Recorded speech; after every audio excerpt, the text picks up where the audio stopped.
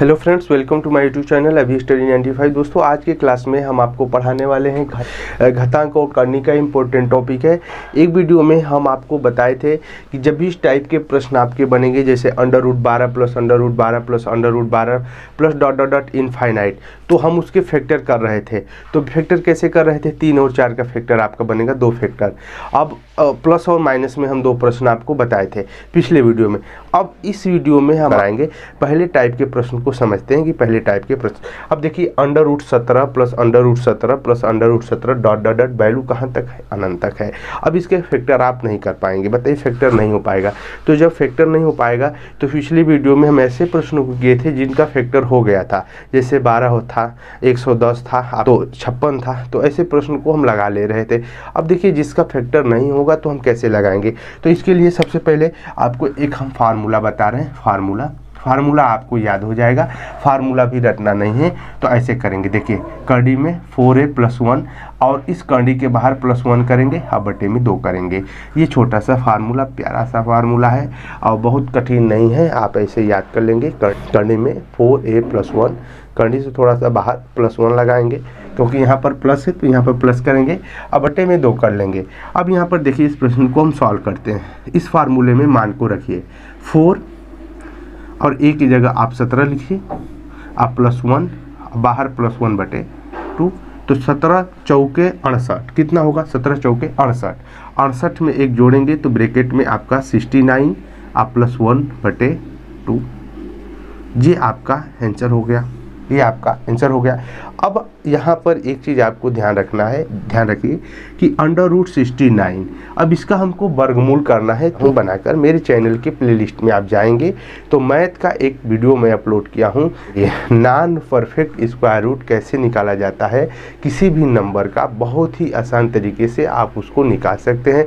जैसे वर्गमूल अगर आपको करनी में फाइव का वर्गमूल निकालना है करनी में ग्यारह का वर्गमूल निकालना है, आपको तेरह का वर्गमूल निकालना है तो आप बहुत आसान तरीके से वहाँ पर इसको निकाल लेंगे। तो इस प्रश्न का जो आंसर आपका बनेगा, देखिए करनी में सिक्सटी नाइन प्लस वन बटे टू दूसरे प्रश्न में क्या करेंगे? देख करनी में थ्री प्लस करनी में थ्री प्लस करनी में three plus dot dot dot value कहाँ तक है? अनंत तक है।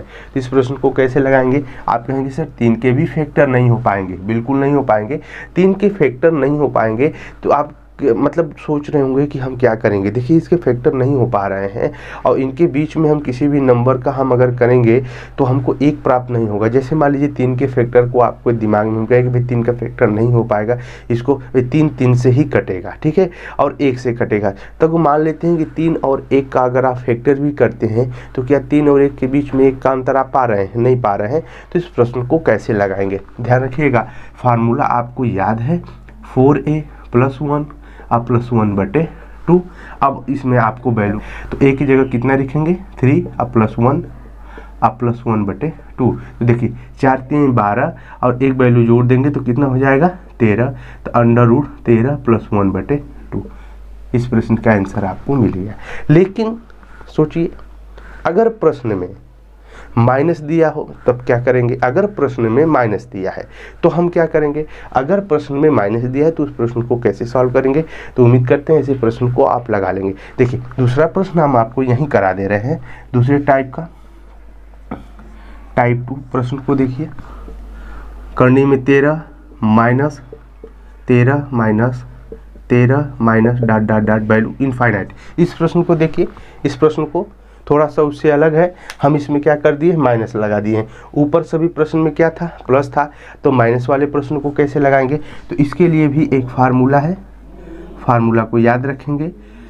देखिए कड़ी में फोर, ए प्लस वन। अब देखिए, यहाँ माइनस है तो यहाँ बारह माइनस वन करेंगे, बटे टू करेंगे। बहुत इंपॉर्टेंट है फार्मूला। या सॉल्व करेंगे। जिनका फैक्टर नहीं हो पाएगा तो उन प्रश्नों को कैसे सॉल्व करेंगे? तो इस फार्मूले के माध्यम से। अब देखिए, इसमें क्या करना है? आपको करनी में फोर, ए की जगह कितना लिखना है? तेरह लिखना है। आप प्लस वन और माइनस वन बटे टू तो अब देखिए, तेरह चौके बावन, अब बावन, और एक जोड़ देंगे तो कितना हो जाएगा? तिरपन माइनस वन बटे टू ये आपका आंसर हो गया। ये आपका आंसर हो गया। ये आपका आंसर हो गया करणी में तिरपन माइनस वन बटे दो। तो दोनों प्रश्न को आप समझ गए हैं? बताइए, दोनों प्रश्न आप समझ गए हैं कि नहीं? बहुत आसान तरीके से समझ गए दोनों प्रश्न में आपको कोई समस्या नहीं हुआ होगा। बस जिनका फैक्टर नहीं हो पाएगा, उसको हम फार्मूले से सॉल्व कर लेंगे। फार्मूला बहुत आसान है। अगर आपके प्रश्न में प्लस रहेगा तो फार्मूला याद करेंगे। करणी में फोर ए प्लस वन अब करनी से थोड़ा बाहर प्लस वन बटे टू करेंगे। दूसरे में देखिए माइनस रहेगा तो क्या करेंगे? करनी में four a plus one minus one बटे में टू ये दूसरे फार्मूला है। तो दोनों प्रश्न आप बहुत आसान तरीके से, मुझे उम्मीद है कि इन दोनों प्रश्नों में आप कोई मिस्टेक नहीं करेंगे और नहीं आपको बहुत डिफ़िकल्ट लग रहा होगा, बहुत आसान है, आप इसे सॉल्व कर देंगे। तो उम्मीद करते हैं, हमारे दोनों टाइप के प्रश्न को आप बहुत अच्छे तरीके से समझ गए होंगे और आप प्रैक्टिस करिएगा, आपके प्रश्न ज़रूर मिलेंगे। अगर यहाँ पर अगर आपको करनी में तिरपन का वर्गमूल निकालना है तो आप मेरे चैनल के प्ले में चले जाइए। वहाँ पर मैं आपको नॉन परफेक्ट स्क्वायर रूट के बारे में बताया हूँ, जो आसान तरीके से उसे आप सॉल्व कर लेंगे। और वहाँ से आप यहाँ पर वैल्यू ऐसे प्रश्न में अगर पूछता है अंडर रूट तिरपन का वर्गमूल कितना होगा तो आप वहाँ से बहुत आसान तरीके से फाइंड कर सकते हैं। तो उम्मीद करते हैं दोनों प्रश्न आप समझ गए होंगे। तो मिलते हैं अगले वीडियो में। तब तक के लिए जय हिंद, जय भारत, धन्यवाद।